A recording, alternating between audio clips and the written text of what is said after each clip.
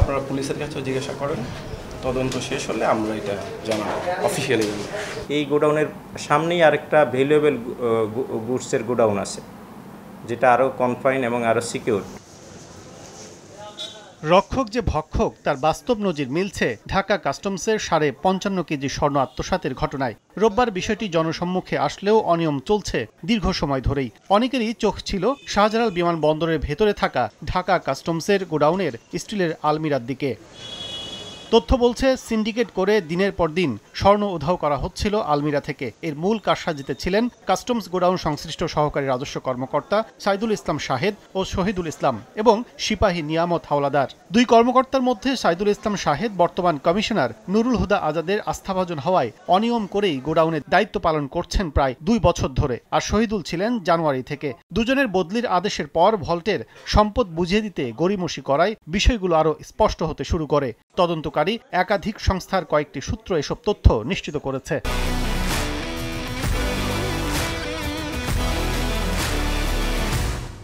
মঙ্গলবার পুলিশ জানায়, মূল টার্গেট এই তিনজন, যাদের ডিউটি ছাড়াও অনেক সময় তাদের অবস্থান নিশ্চিত করেছে প্রযুক্তি। শহীদুল আর শাহেদ।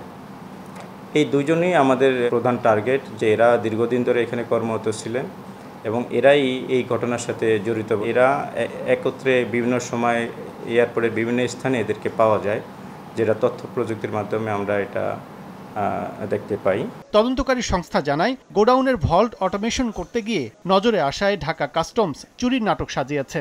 ঘটনাস্থল পর্যবেক্ষণে ধরা পড়ে গায়েব হওয়া স্বর্ণ রাখা হয় অবহেলিত জায়গায়। পাশেই আরেকটি মূল্যবান সম্পদ রাখার নিরাপদ গোডাউন থাকলেও সেখানে রাখেনি কাস্টমস। তিন মাসের মধ্যে জমাও দেয়নি বাংলাদেশ ব্যাংকে। এটা টেম্পোরারি একটা স্টোরেজ গোডাউন। এই গোডাউনের সামনেই আরেকটা ভ্যালুয়েবল গুডসের গোডাউন আছে।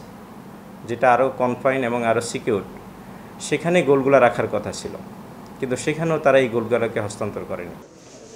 কাস্টমসের গল্প যখন এমন তখন এ বিষয়ে দীর্ঘ সময় অপেক্ষা করেও মন্তব্য করতে রাজি হননি ঢাকা কাস্টমস হাউস কমিশনার। আপনারা পুলিশের কাছে জিজ্ঞাসা করেন তদন্ত শেষ হলে আমরা এটা জানাব অফিসিয়ালি প্রাথমিকভাবে শনাক্তদের মঙ্গলবারের মধ্যেই গ্রেফতার দেখানো হতে পারে বলে জানিয়েছে পুলিশের ঊর্ধ্বতন কর্মকর্তা।